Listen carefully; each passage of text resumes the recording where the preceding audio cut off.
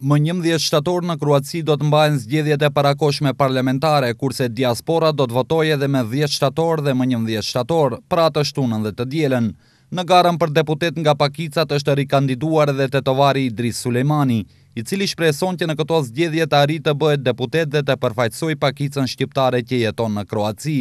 Shtabi i hapur gati se një muaj në qendër të Tetovës tashmë ka bërë përgatitjet e nevojshme për të marrë sa më shumë vota nga qytetarët e Maqedonisë, të cilët kanë dokumente të Kroacisë dhe kanë të drejtë vote. Nga shtabi i Sulejmanit sot kanë apeluar për dalje sa më masovike dhe përkrahje për kandidatin shqiptar në këto zgjedhje të parakohshme të Kroacisë. Po ashtu ata kanë njoftuar se kanë organizuar edhe transport për ata të cilët dëshirojnë që të marrin pjesë në këto zgjedhje dhe të votojnë për kandidatin shqiptar Idris Sulejmani, Që në këto zgjedhje është me numrin tetë. Me datë dhjetë e njëmbëdhjetë mbahen zgjedhjet e parakohshme në Kroaci,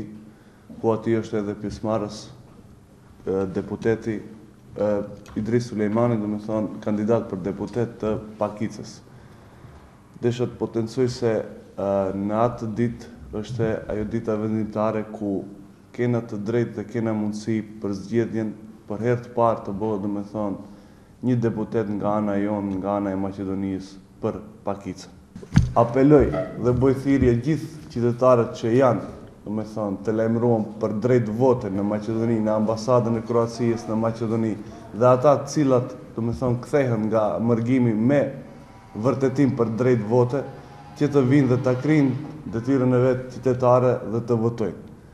Ta potencoj edhe njëherë se Idris Sulejmani gjendet në listën e pakicës me numër, domethënë me numër, renditje numër tetë. Për çdo informatë dhe çdo udhëzim tjetër, mund të na gjeni tek shtabi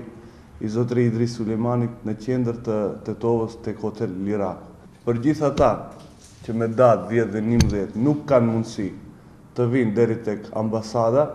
shtabi shtabi qendror në Tetovë ka organizuar transport Të gjitha mjetet për të arrit deri te Ambasada e Kroacisë gjithsesi të ipet vota